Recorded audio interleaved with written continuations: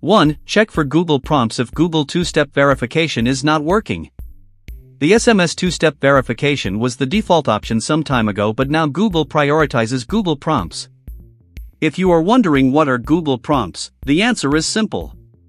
It's a new two-step verification method that prompts you whenever there's a sign-in attempt to your Google account. It's available only on smartphones, both Android and iPhones. Of course, devices need to have an internet connection for prompts to appear. So, instead of waiting for an SMS authentication message that never comes, check the notification shade for Google prompts.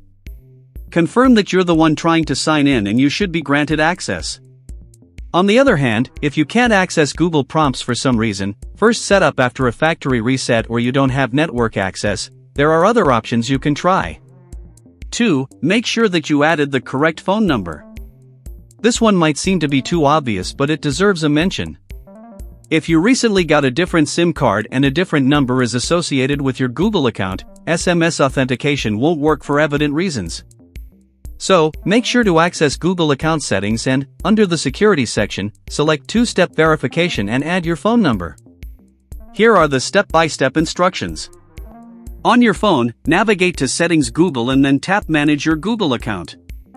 On iPhone or PC, open a browser and navigate to the Google account page.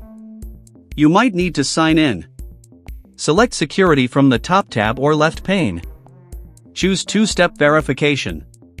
Tap on the pencil icon next to the voice or text message and then tap Change Phone.